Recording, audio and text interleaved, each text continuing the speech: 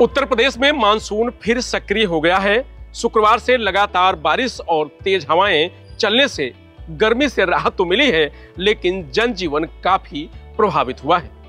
बारिश की वजह से हादसों में प्रदेश में आठ लोगों की मौत हो गई है।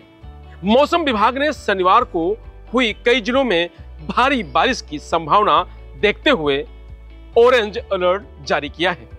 अयोध्या और गोंडा में बारहवीं तक के सभी स्कूल शनिवार तक बंद कर दिए गए हैं।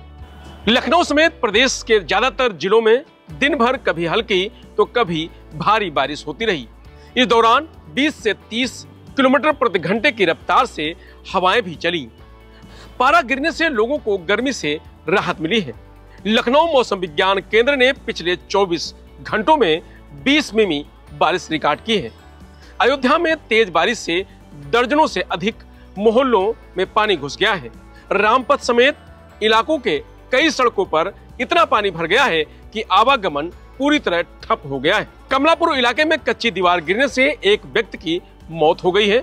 भदोही में बिजली गिरने से दो लोगों की मौत हो गई है, जबकि सांप काटने की वजह से गाजीपुर में दो और प्रतापगढ़ में एक व्यक्ति की जान चली गई है। सीएम योगी ने बारिश से प्रभावित जिलों के अधिकारियों को पूरी तत्परता के साथ राहत कार्य संचालित करने के निर्देश दिए हैं। सीएम योगी ने कहा कि अधिकारी क्षेत्र का भ्रमण कर राहत कार्य पर नज़र रखें और प्रभावित लोगों को मदद दिलवाएँ। आपदा से हुई जनहानि से प्रभावित परिवारों को राहत राशि अविलंब प्रदान की जाए। कुछ दिन पहले तक यह बारिश फ़सलों के लिए अमृत साबित हो रही थी, लेकिन अब किसानों की चिंता बढ़ गई है। उत्तर प्रदेश कृषि विज्ञान परिषद के वैज्ञानिकों का कहना है कि अब धान की फ़सल पककर तैयार हो गई है।